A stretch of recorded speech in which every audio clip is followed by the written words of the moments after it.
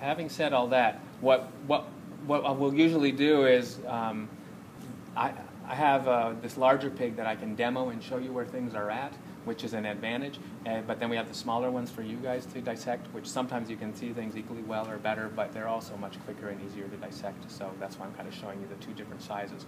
Um, it, it's amazing, you know, these are both like that equivalent of third term. This is just close to full term, you know, like what would equivalent nine months in a human, and this is probably closer to six, what would be six or seven months. That's how much growth happens in that third term of human pregnancy or the very end of the, in the case of the pigs, I don't know how long it is, three months or something last month. So, um, so we'll just take a look at this guy, and then you can do your own small ones. Um, this, uh, all I want you to see this evening is basically what ha- th- that those, that body cavity or chest and abdominal cavity and some of the main organs inside there and those serous linings. You get that distinction between the outer tube or parietal part of the body and the inner tube or the visceral part. So of course this one's already been cut open. Um, what I would like you to be careful about on your little guys is when you first start cutting them, what, what's this? Umbilical cord. Umbilical cord. I would like you not to cut straight through the umbilical cord, but you can cut back around it and to the sides, just like this, chook, chook. And then you can cut forward up to the diaphragm. You can do your best to try and keep the diaphragm in place, so you would cut off to the sides there, and that'll give you some nice flaps to open up the abdominal cavity, just like I've done here. And then we open up the abdominal cavity. We'll be going looking at the organs in more detail, but the main ones, you can see the liver. It'll be relatively larger on the little guys. The liver develops a little bit in advance of the other organs. So you've got the liver. If you lift the liver up, you'll be able to see the stomach, the kind of floppy sac that's the stomach, with the sort of very worm-like or leech-like looking spleen along what's called the larger curvature of the stomach. And then, of course, coming off the stomach is going to be um, just intestines. Don't worry about small and large intestines on a pig because they're very different. Um, and back at the back body wall, behind the serous lining, what is the parietal peritoneum, you can see the kidney. There's one on either side. There's that kidney, and this kidney I've kind of uh, cut away the, the peritoneum so you can see the you can see the, the organ itself. So that's the abdominal cavity. What separates the abdominal cavity from the chest cavity? The diaphragm. Diaphragm. So see the diaphragm there? It like domes over the liver, just like that. It domes over the liver. Um, and you, you can also see it over here on the chest side.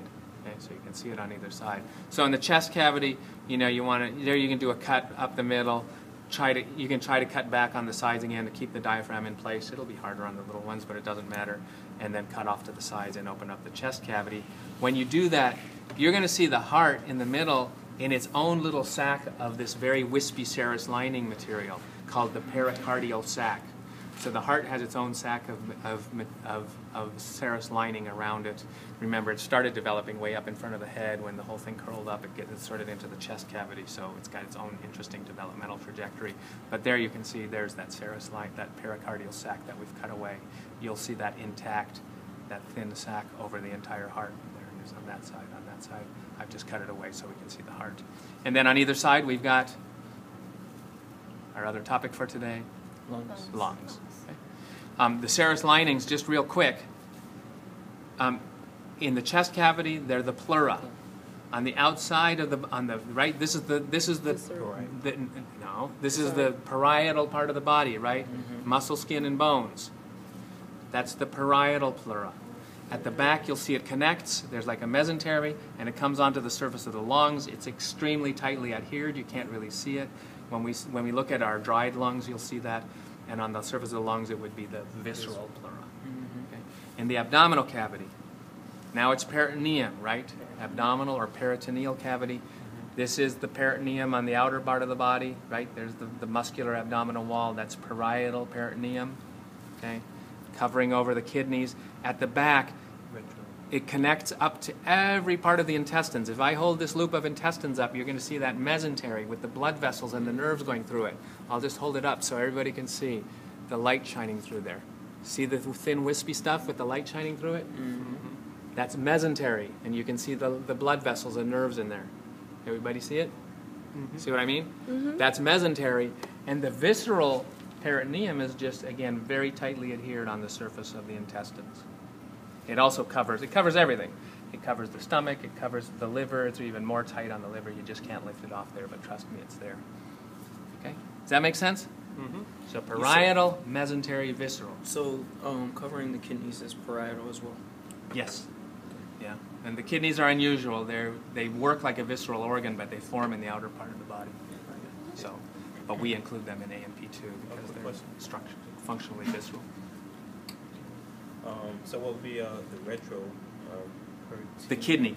So the reason we say retroperitoneal is it's in the back. because it's at the back. Yeah, Yeah. the back. if you wanted to get there, you'd have to cut through the front, open up the abdominal cavity, and cut through back there. All right. Mhm. So um, to do your own